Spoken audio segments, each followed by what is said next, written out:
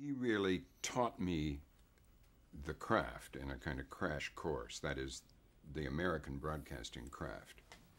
Um, here I came from a wire service where you're very, you know, sort of very cut and dried, and um, and uh, Chancellor not only introduced me to the pubs in that part of London that he liked. I, my pubs tended to be down in the Fleet Street area. This was around the BBC Broadcasting House area where NBC was. Anyway, I sat down and I first of all I read through every script he had done for the last several years, and which gave me a good idea. And then I went to the studio with him and listened to him do chats back and forth. Remember the Monitor series on NBC Radio on the weekends? They would do informal chats with correspondents overseas. And coming from the wire service, I was terrified that he wouldn't have enough information and I would prepare all kinds of remember I was the editorial assistant then. I would prepare all kinds of background information on this crisis or that position in British policy and I'd come over with stacks of stuff and lay it all out on the desk and then he'd have one of these little chats and he wouldn't look at anything and of course he knew it all. Um, and uh, as I discovered one did um, but also Chancellor had a wonderful sense of humor uh, in those days. He got a little stiffer later, but uh, he um, he was very funny, and he did a lot. He did a lot of emphasis. Uh, there was a essay series on uh, NBC Radio called Emphasis, and we quit. All the correspondents did some of them, but his was among the funniest. And I think CBS had something called Dimension, and these these were emphasis. Anyway, so I learned that you can be funny on uh, on your broadcasting as well as serious, and that there was a way of introducing some style and humor.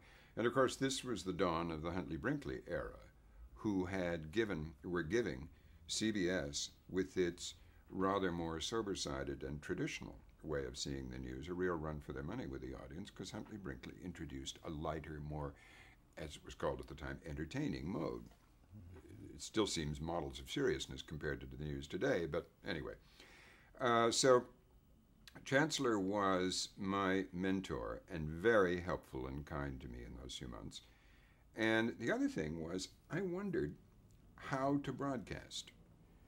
I mean, I'd been I'd been doing my CBC stuff uh, in a way I thought appropriate for the CBC, and the CBC style was kind of uh, God in heaven, you know, um, uh, and uh, from the height to the lower depths. Um, and uh, Chancellor had this nice informal style. Now, there were many styles around to choose from. There were people who declaimed the news, and people who announced the news, and proclaimed the news, and some people who even sort of sang the news. And what Chancellor did, which was wonderful, he just told you the news conversationally in the most natural sounding voice like somebody, uh, like somebody just talking to you interestingly. And I thought, that's the style I want to adopt, and I just copied his his style.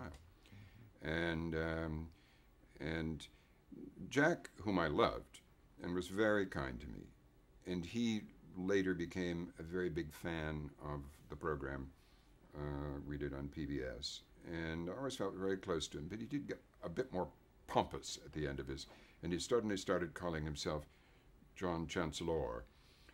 Uh, and uh, there was a, a, tribute done for him by the New York Television Academy some years ago. And a lot of us, a long time ago now, Barbara Walters and a lot of us spoke about him. And he was sitting in the front row, and I said, I remembered Jack when he used to cover the Chancellor of the Exchequer, and he did not crack a smile. He didn't like that at all. But um, he was he was wonderful. He was a very big talent. And his talent was not so much, he made a good anchorman and a commentator later, but his real talent was as a writer and uh, a reporter. Remember the famous moment in the 64 convention when uh, the Goldwater convention, when uh, Chancellor got hustled off by a couple of goons on the floor of the Republican convention, and he kept on broadcasting, and he said, this is John, until he went out of sight, and they could still hear him saying, This is John Chancellor reporting from somewhere in captivity.